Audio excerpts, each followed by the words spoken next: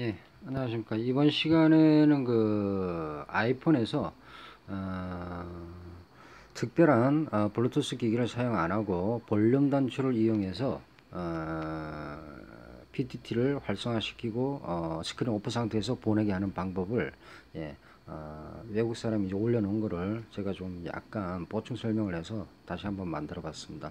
아, 지금 오른쪽이 안드로이드 폰이고 이게 삼성 갤럭시 S2인가 예, 옛날에 나온 거 아주 작은 거 그건데 예, 옛날 폰이고 어, 다음 좌측이 이제 애플인데 예, 아이폰인데 아, 이제 아이폰으로 이제 연락을 하는 걸 예, 보여드리겠습니다.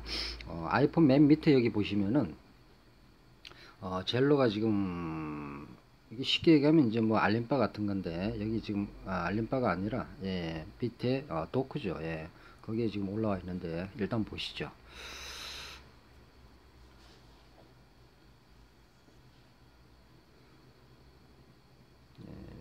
이제 간단한 얘기고.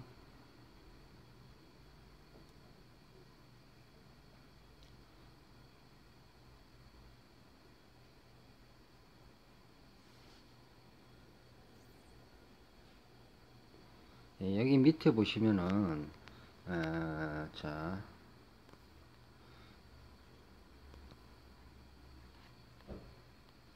여기 밑에 보시면은 여기 음악 플레이어 여기 음악 플레이어가 있는데 손가락이 있는데 아 요게 어, 기본 미디어 플레이어로 지정이 된 게 아니라 Zello로 어, 사용자가 변경을 해놨습니다. 아 그래서 여기서 플레이 버튼을 누르면 음악이 재생되는 게 아니라 예, 젤로가 재생이 되는 거죠. PTT가 활성화가 되는 겁니다. 어, 더 보겠습니다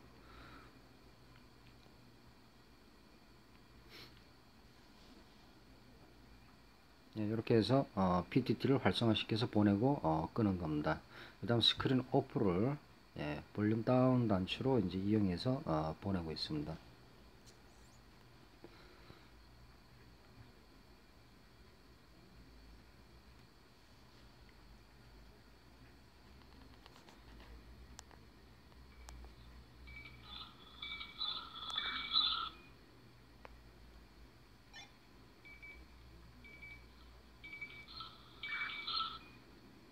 네, 지금 상대방한테 지금 가죠. 눌러가지고.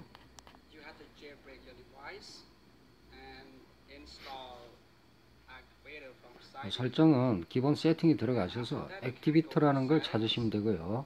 아, 요거는 전제 조건이 탈옥을 하셔야 됩니다. 일반 정상폰에서는 안 되고요. 예, 세팅이 들어가서 Activator를 찾아서 어플리케이션 들어가, 어, 어플리케이션이 아니라 다시 한번 보여드리겠습니다. That, you can go to settings and find application name activator. 예, Activator를 찾아 들어가서 그 다음 어플리케이션 맨 위에 목록에 어플리케이션이 있는데 예, 그걸 Zello로 변경을 해줘야 됩니다. 눌러가지고 자 여기서 어, 손 동작 예, 행위 동작을 어, 지정을 해주네요.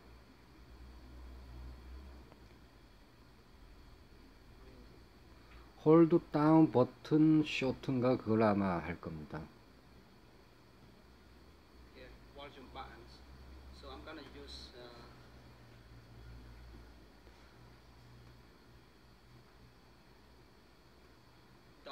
uh. 예, down short hold 요거.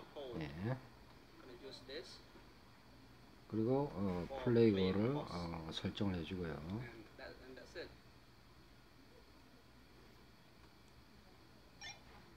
See that? Zello. 자 볼륨 down으로 일단 screen on 상태에서는 어, 무조건 되고 screen off 상태에서도 예 무전이 가죠.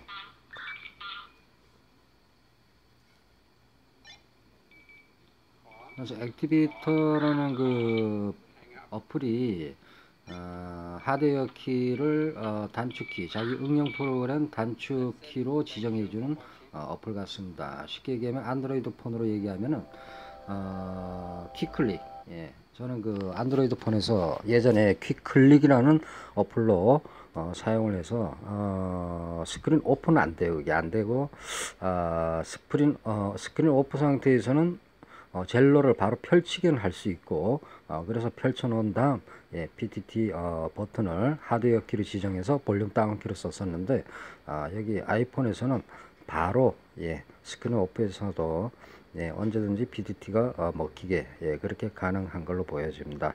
아, 그래서 아이폰 한 번도 안 써봤기 때문에 어, 뭐라고 말씀을 드릴 수는 없지만은 어, 다른 분이 테스트를 해본 결과 예, 탈옥을 해야지 Activa, Activator라는 어, 어플이 생긴다고 합니다.